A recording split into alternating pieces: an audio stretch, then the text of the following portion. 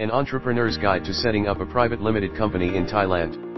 Many foreign entrepreneurs looking to establish a legal presence in Thailand prefer to set up a private limited company.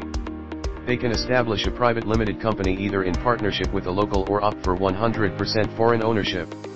This video guides you through what you need to know about setting up a private limited company in the country. A Thailand private limited company is a company that has the following key characteristics. Owned by at least three shareholders.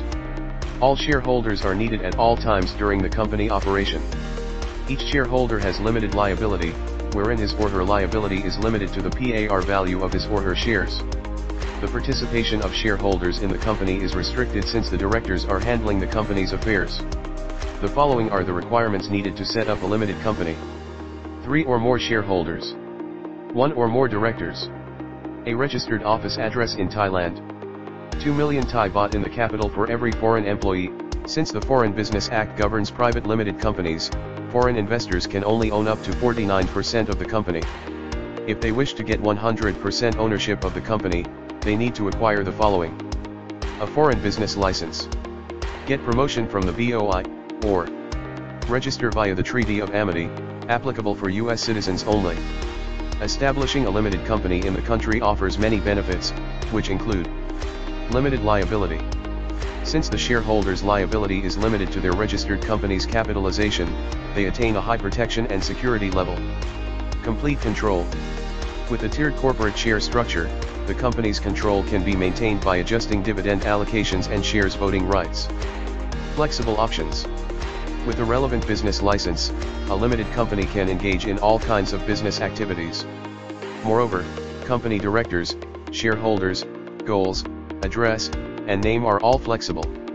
Complete foreign ownership. Foreigners can own 100% of a limited company's shares as long as they meet the required criteria. Eligibility for a corporate savings account.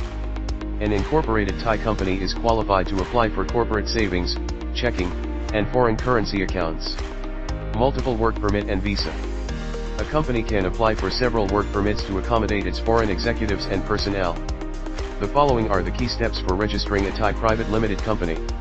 Reserve a company name. Name reservation for Thai limited company must abide by the MOC's Department of Business Development's guidelines, amongst other guidelines. File for the Memorandum of Association. The MOA should contain the proposed company's name, registered office's address and objectives, and the declarations that the shareholders' liability will be limited, and the numbers of shares prescribed by every promoter. Convene a statutory meeting.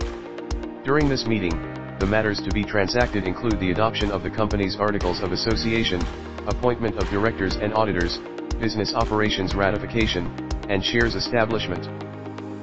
Register the company.